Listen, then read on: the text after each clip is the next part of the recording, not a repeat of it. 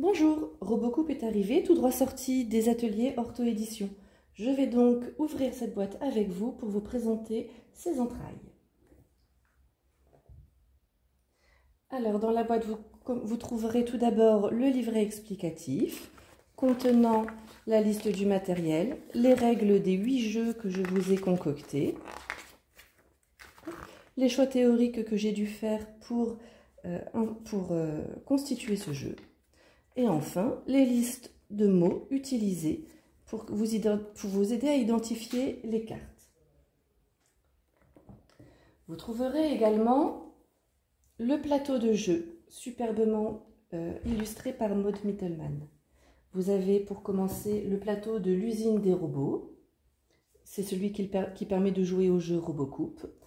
Et au verso, le plateau de l'espace qui permet de jouer au jeu La cible mystère. Vous trouverez aussi dans cette boîte un présentoir amovible qui vous permettra d'installer le jeu en deux temps trois mouvements et qui contient les tuiles représentant tous les phonèmes de la langue française.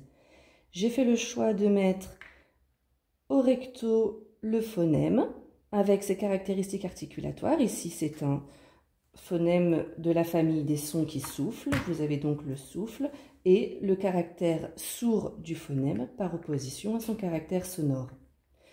Au, verso, pardon, vous trouverez les différentes graphies utilisées pour ce phonème. En gras, vous trouverez les graphies les plus fréquentes. En plus petit, les graphies les moins fréquentes. Vous trouverez aussi en gris les sons à associer pour obtenir le phonème désigné.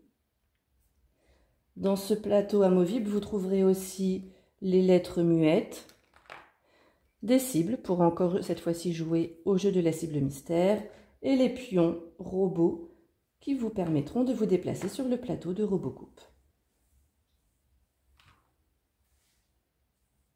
Dans cette boîte, vous trouverez également de nombreuses autres petites choses qui vous permettront de jouer aux différents jeux. Un sac en tissu, les cartes outils qui vous permettront de jouer au jeu des outils,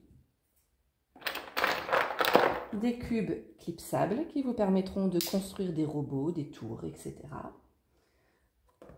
Les images, des, mots qui, seront segmentés phonologiquement, euh, qui sont partagés en trois niveaux.